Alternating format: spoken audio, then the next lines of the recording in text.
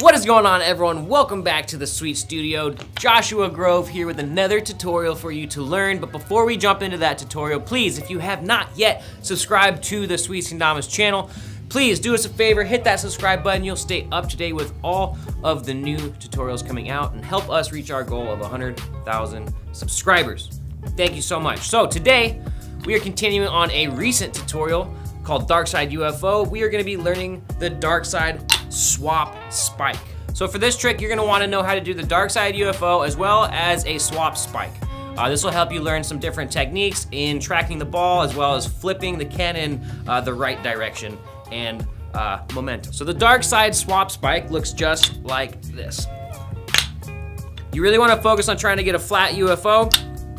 The Tama is gonna come up into the air. We're gonna swap into that SARA grip and then finish with a down spike.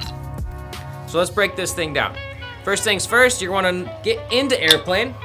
Just like the dark side UFO, we're gonna tilt the Ken to the outside uh, of our body. Same thing with the dark side UFO as well with that prep. We're just gonna pull towards our body to create that UFO motion.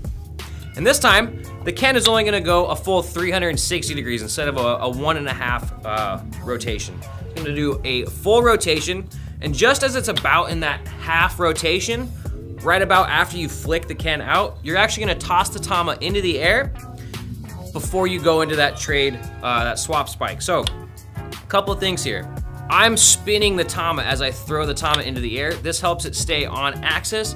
A lot of people don't do that. Some people do do it. I'm gonna, I said doo-doo.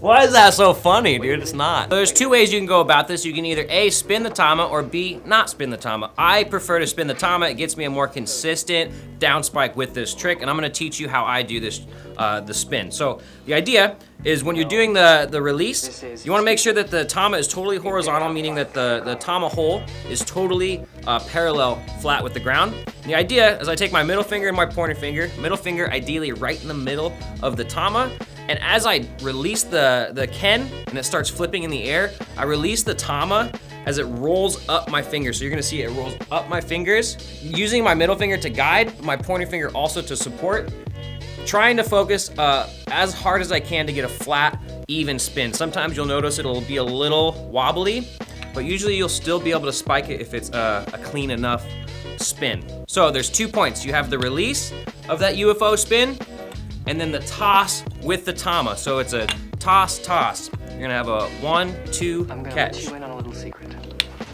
Every One, day, two, catch. day, So after you get the toss of the Ken and then the toss of the Tama, you have to track that Ken as it's rotating around one full rotation, could be a new grab and SARA grip, catnap in your and then spot that Tama hole and follow through with the down spike. A couple challenge points for this trick is you start to think about the down spike before you actually get to the down spike, meaning I start to flip the Ken in a weird direction before I even get to throwing the Tama up in the air. So just really focus on taking the trick one step at a time. Using your knees, slow it all down, set up the spin, toss, and follow through.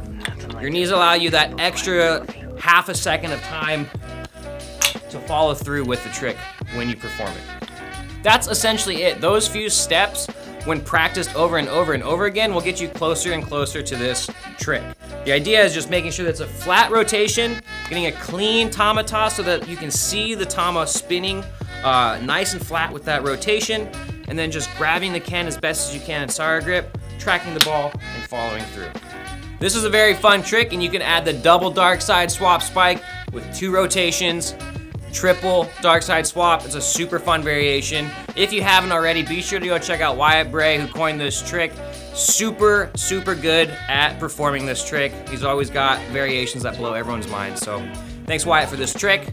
If you've been watching our videos for a while now, and you realize that you have not yet subscribed, just look down there, you can tell hit that subscribe button. Do us a favor. We are trying to reach 100,000 subscribers this year, so help us reach our goal. If you like this video, slam that like button. Be sure to drop a comment. Let us know what you think and any other future tricks you would like to learn. As always, thank you so much for watching and tuning in, and we'll see you next time in the Sweet Studio. Thanks a lot for tuning in and checking out our videos. Make sure you go and smash that subscribe button right there. We need all the subscribers we can get. Also, you can shop right here. Go to Sweets Kendamas and get yourself a new Dama.